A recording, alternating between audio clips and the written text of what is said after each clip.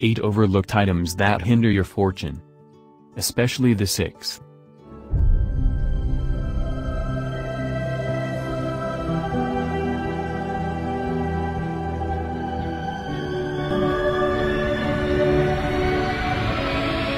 Hello everyone, I'm Rex from Feng Shui Digest, thank you for watching my videos, don't forget to subscribe if you like my content.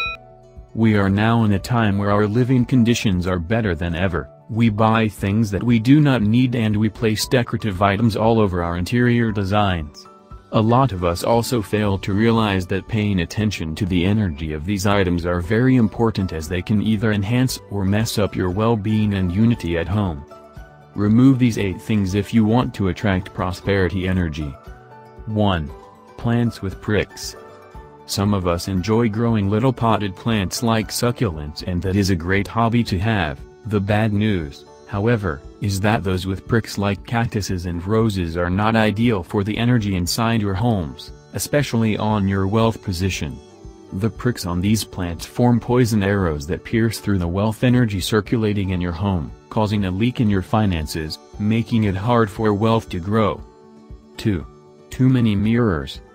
Having too many mirrors at home will cause a financial loss for the family members in the household.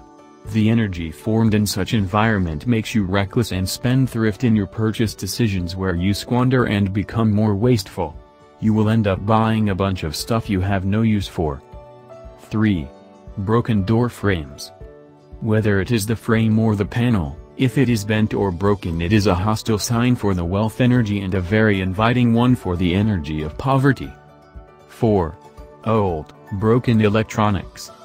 In a sense, Feng Shui is closely related to the magnetic field, so anything that disrupts the natural magnetic field in the environment is known as negative energy or the poison arrow.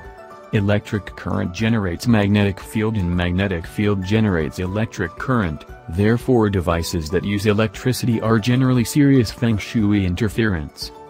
Broken electrical appliances, especially, emit negative magnetic field and it is strongly encouraged that you get rid of them as soon as possible.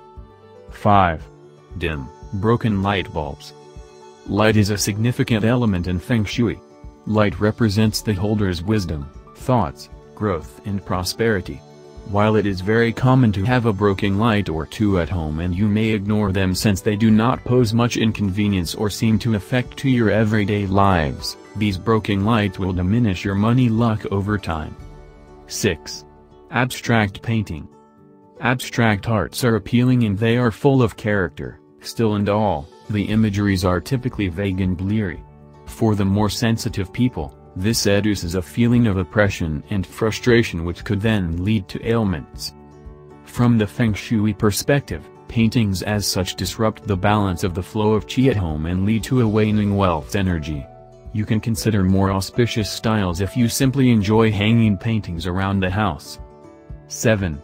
Bedroom clutter. Not only do clutters breed bacteria, it is bad for feng shui too.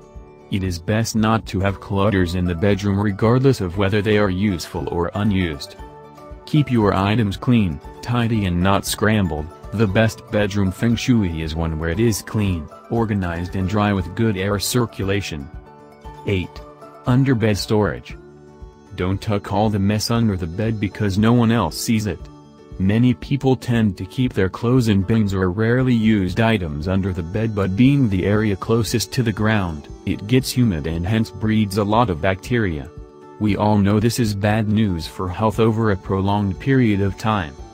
Most importantly, apart from the bed frame itself, do not store metallic belongings under your mattress as the vibrations from these objects will cause aches and soreness on your body as you sleep above them night after night. What do you think of this video?